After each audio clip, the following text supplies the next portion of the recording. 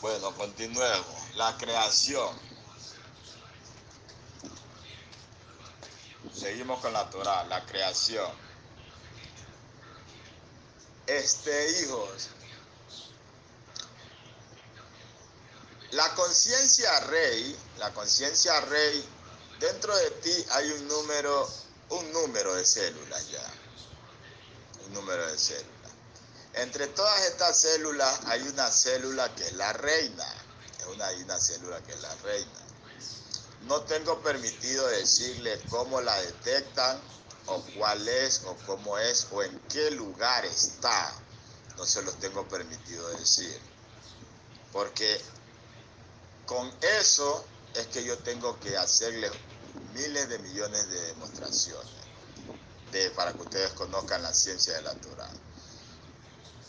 Claro, digamos, eso explicaba en un video pasado, como por ejemplo que, que venga un, un, varón que quiera ser mujer y que venga una mujer que quiera ser varón, yo simplemente cambio las conciencias rey, nada más. Eso es todo.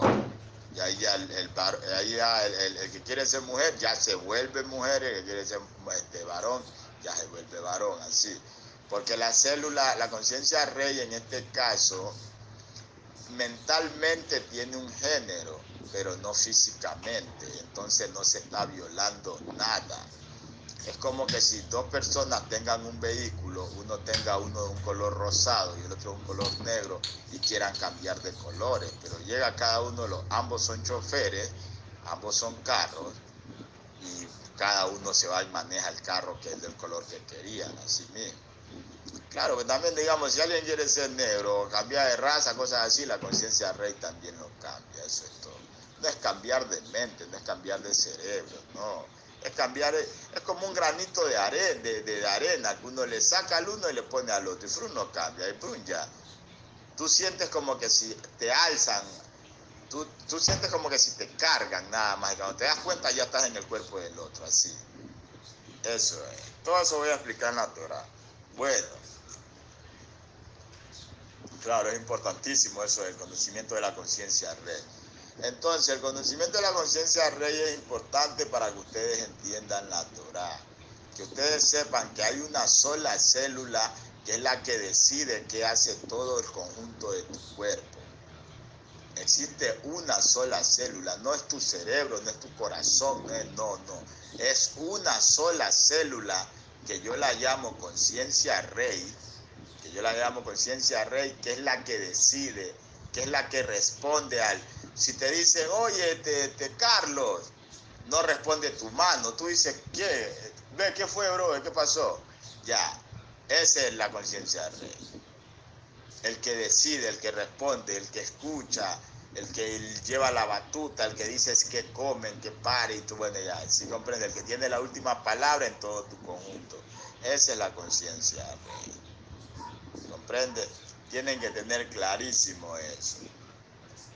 Bueno, hijos, la creación 2 le he llamado a este nuevo video. La creación 2, porque el otro salió muy largo y para que no se me cansen también.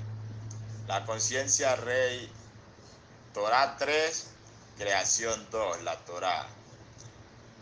La creación, mis hijos. Miren. Vamos a ver primero qué dice. Vamos a, a la, la versión en donde la Torah se escondió es la Torah es la versión de la de la Biblia de ayer, ayer expliqué ayer expliqué que la Torah se autoprotege y migra migra a otros idiomas migra a otros idiomas para que los intrusos no la puedan encontrar. Entonces, la Torah ya no está, los privilegios de la Torah, la ciencia de la Torah, el 100% de la Torah ya no está en el hebreo, no, emigró al español, ¿comprende? Yo veo que es mejor usar la Biblia de Jerusalén para el español para enseñanza. Para succionar es lo que te voy a explicar, pues lo que ya te voy a ir revelando. Entonces comencemos, hijo, préstale atención. Si amas la Torah, presta la atención. ¿Qué dice ahí, por ejemplo, ya? En el principio Dios creó los cielos y la tierra. La tierra estaba desordenada y vacía y un aliento, no estoy leyendo, sino que ya, ya, ya, tanto que eso ya me lo sé. Pues. Entonces, este, y un aliento del Padre, un aliento del Padre, un aliento de Dios, como quiera, creo que, como quiera, no, yo digo como quiera, pero no tienes que andarle diciendo así, pues Dios a nuestro Padre. Ya, este. Y un aliento de Dios revoloteaba sobre las aguas. Bueno, así más o menos está ahí. Pero no es así, digamos, tampoco no es así. Digamos, es, míralo de esta manera. En el principio, trata de mirarlo como te lo, como te lo estoy diciendo. En el principio, el Abba, el Abba, el Abba, suelta, suelta los cielos y las tierras. Los cielos y las tierras. Y una tierra, y una tierra estaba desordenada y vacía, y una tierra estaba desordenada y vacía, esperando, esperando ser llena y ser ordenada. Anda viendo la diferencia, pues, niño inteligente. Si te hablan de desorden y vacío, entonces el Abba, ¿qué tenía que hacer? Llenar y ordenar. Eso es todo. Llenar y ordenar. Si estamos hasta aquí, entonces, la, y una tierra, y una tierra o un mundo, un planeta, ahí vamos, una región, como sea que lo quieras visualizar, un terreno o una roca, y una tierra estaba desordenada y vacía, y una tierra estaba desordenada y vacía, esperando ser llena y ser ordenada. Vamos hasta ahí, hasta ese pedazo. Y ahí dice, ahí dice, y un aliento del Padre, un espíritu del Padre revoloteaba sobre las aguas. Ahora yo te digo, así como está ahí, pero ya te ya te estoy diciendo, yo te, ahorita te estoy explicando la, la, la, la, la, la, yo te estoy explicando ahorita lo superficial, lo que va a leer la persona normalmente, lo que va a leer la persona normalmente, lo superficial. Y después ya me meto al secreto, así es, como para que entienda. Y te voy explicando. Entonces, entonces no es un aliento, no es así, no es un aliento, no es un espíritu, sino que y una información y una información del ABA y una información del ABA circulaba circulaba en toda la tierra. Así es que tienes que decir. Y una información, como la, como la Torah, pues la Torah está por todos lados. Está circulando por todos lados. Entonces, esa información que circulaba por toda la tierra, ni siquiera circulaba, circula. Pero ya, pongámosle circulaba porque estamos todavía allá atrás.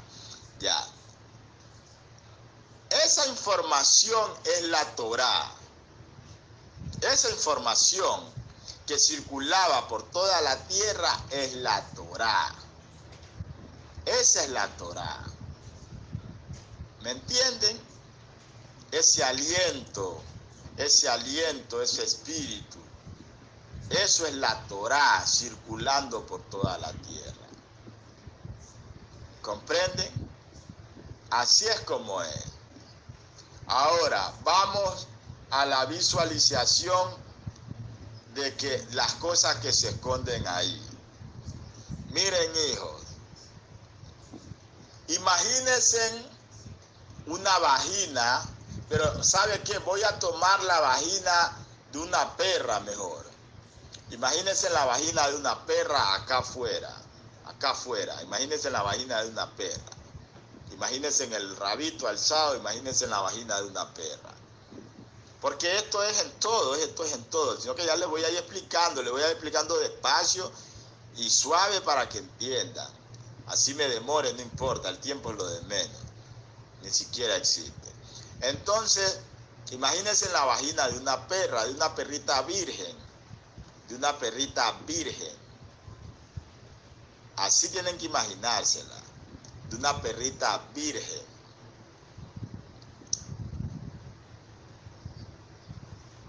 La perrita, la vagina de la perrita está vacía, está vacía, está totalmente tapada y está desordenada.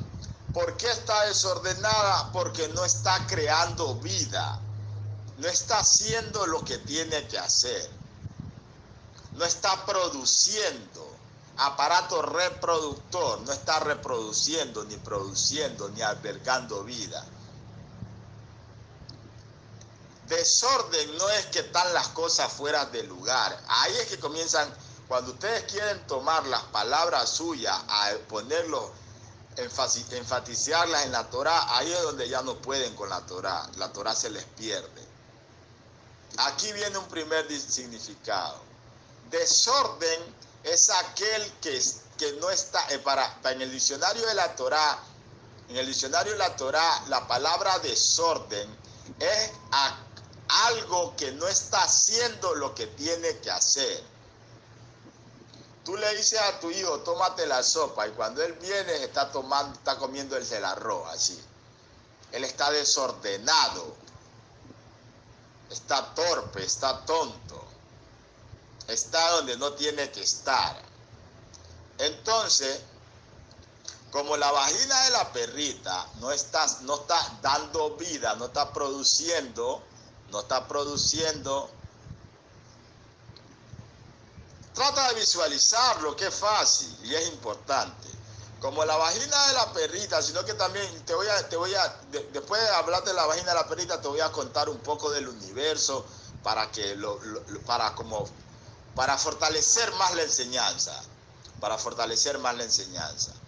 Entonces, la, la vagina de la perrita está totalmente sellada, ¿sí o no? con el imen, la perrita virgen está sellada con el imen y está, y está como te digo, desordenada porque no está haciendo, primera revelación que te doy con el diccionario de la Torah, porque no está haciendo lo, lo que debe de hacer. ¿Comprende? Eso. Es como aquel maestro que enseña y, enseña un ratito y ahí después se va a hacer otras cosas. O el pastor que, que, que, que según pastorea y, y, cosas así. Para estar realmente ordenado, solamente tiene que estar haciendo eso. Mira, la primera palabra que te revelé, yo pensaba que yo pensaba yo pensaba que iba a ser otra. Ahorita, ahorita que ni cuenta me di, la primera palabra que te revelé es orden, claro. El significado real de orden y desorden.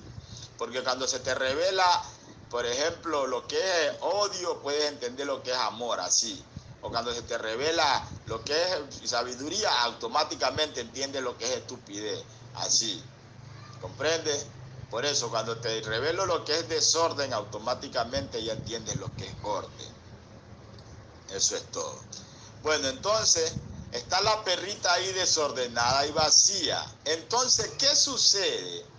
Llega el pene, llega el pene del perro, llega el pene del perro, presta atención y destruye el sello.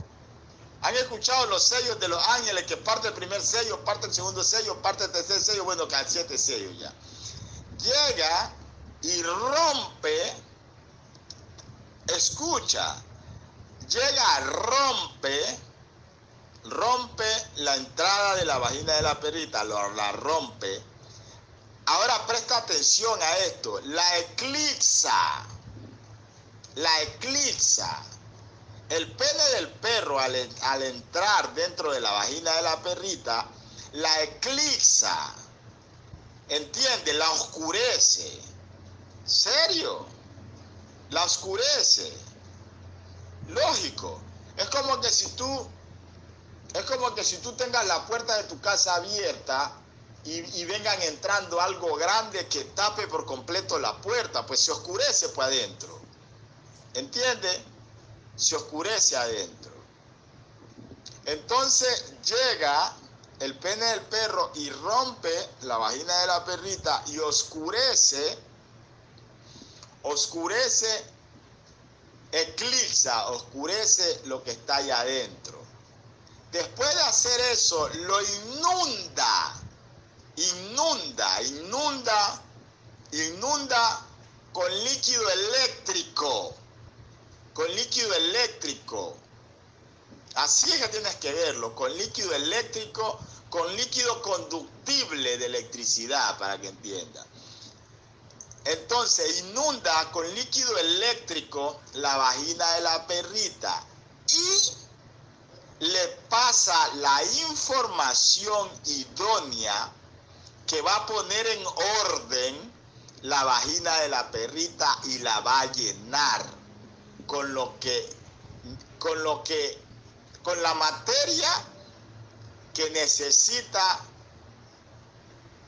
el órgano reproductor para hacer su trabajo. El órgano reproductor necesita semen para reproducir vida. Sencillo, oye, el que no me entiende también ya se pasa. El que no me entiende ya se pasa. Así visualiza la creación. Así visualiza la creación. La tierra estaba oscura, estaba eclipsada, sino que ahí te la comienzan a hablar. Imagínate como que si ya está el transmisor de la, el, que, transmite, el, que transmitió el líquido o el agua, el, agua era conductible, con la información. Desde ahí comenzó, comencé yo y dejé el Génesis, por ejemplo. ¿Entiendes? Entonces imagínatelo así, con la eyaculación.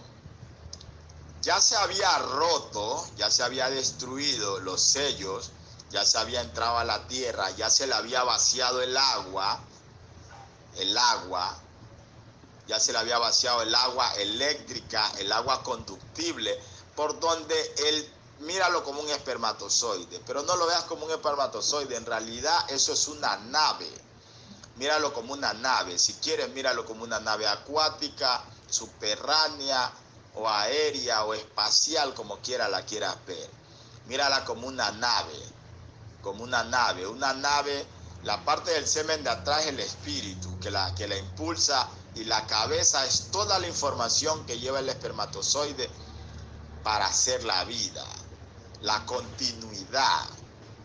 ¿Entiende? Entonces, el Génesis comienza así, la tierra estaba desordenada y vacía, desordenada y vacía. ¿Comprende? Oscura, oscura. ¿Sí? Entonces, por eso estaba totalmente llena de agua, por eso estaba totalmente llena de agua y la información de nuestro Abba circulaba en todo ese planeta. Circulaba, circulaba, circulaba, circulaba, circulaba. Buscando, buscando en dónde posarse, como el arca, buscando en dónde posarse para de ahí comenzar a llenar y ordenar ese espacio. Para ahí comenzar a ordenar y llenar ese espacio con toda la información que carga.